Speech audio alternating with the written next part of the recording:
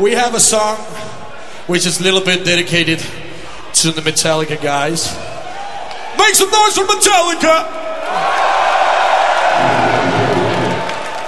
Not that they really need it, but it, you know, they're good. All right.